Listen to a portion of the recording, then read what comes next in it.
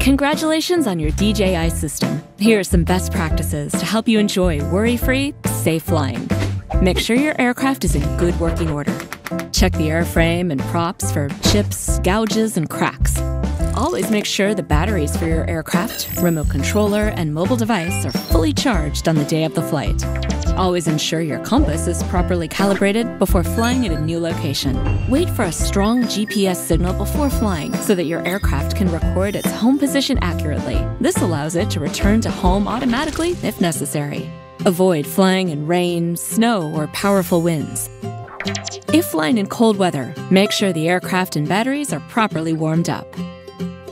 Fly in open areas, away from people, avoiding structures and moving vehicles. Some locations, like stadiums, power plants, and government facilities, restrict flying for safety reasons, so avoid flying in these areas unless you have permission from the authorities. Fly at no more than 400 feet above ground level to avoid manned aircraft traffic. Check the location of nearby airports to make sure you aren't flying too close to one. Keep your aircraft in sight at all times. Don't fly behind buildings or in locations where you can't see obstacles or other aircraft. Remember that as the pilot in command, you are responsible for how and where you fly. Always research each new location before you fly and use good judgment when on site. DJI's geofencing technology can help you make smart decisions about where to fly.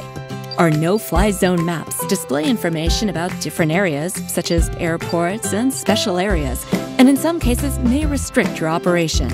Our new GEO system includes temporary flight restrictions and provides added flexibility for authorized users. Remember to get proper authorization before flying in these areas. Stay up to date on rules regarding remote controlled aircraft in your area. For more information about how to fly safe, visit dji.com slash flysafe. Thanks for flying safe.